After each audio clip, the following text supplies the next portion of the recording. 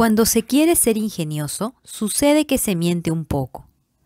No he sido muy honesto al hablar de los faroleros y corro el riesgo de dar una falsa idea de nuestro planeta a los que no lo conocen. Los hombres ocupan muy poco lugar sobre la Tierra.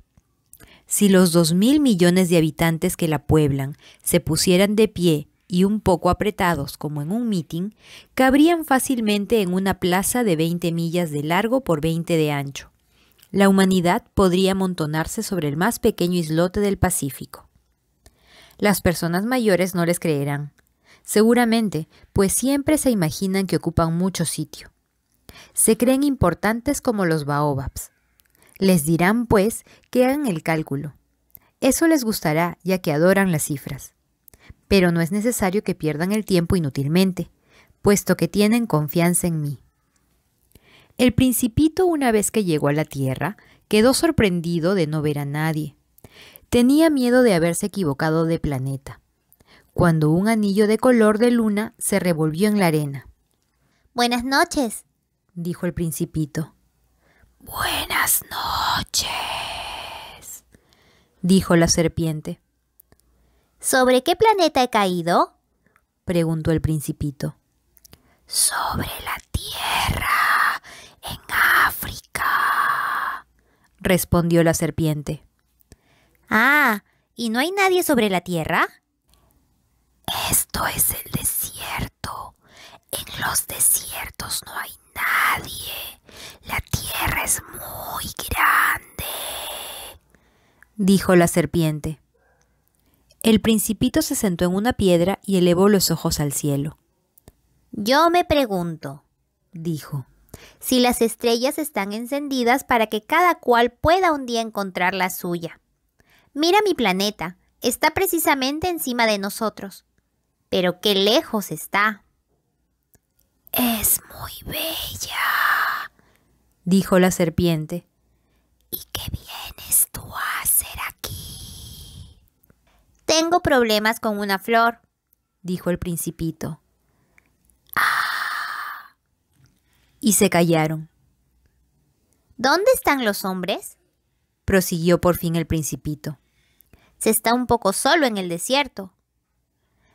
También se está solo donde los hombres, afirmó la serpiente. El principito la miró largo rato y le dijo, Eres un bicho raro delgado como un dedo.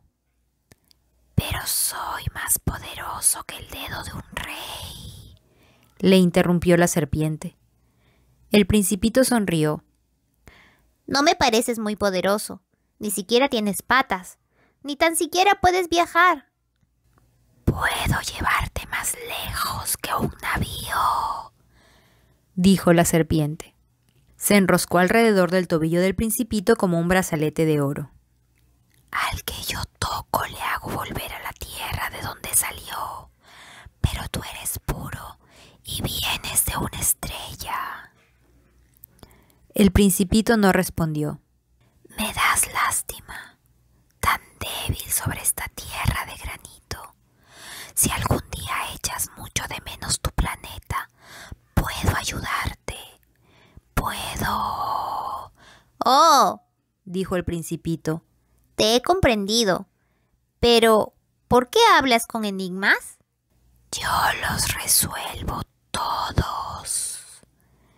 dijo la serpiente, y se callaron. 18. El principito atravesó el desierto en el que solo encontró una flor de tres pétalos, una flor de nada. Buenos días, dijo el principito.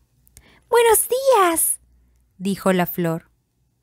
¿Dónde están los hombres? preguntó cortésmente el principito. La flor, un día, había visto pasar una caravana. ¿Los hombres? No existen más que seis o siete, me parece. Los he visto hace ya años y nunca se sabe dónde encontrarlos. El viento los pasea, les faltan las raíces, eso les molesta. Adiós, dijo el principito. Adiós, dijo la flor.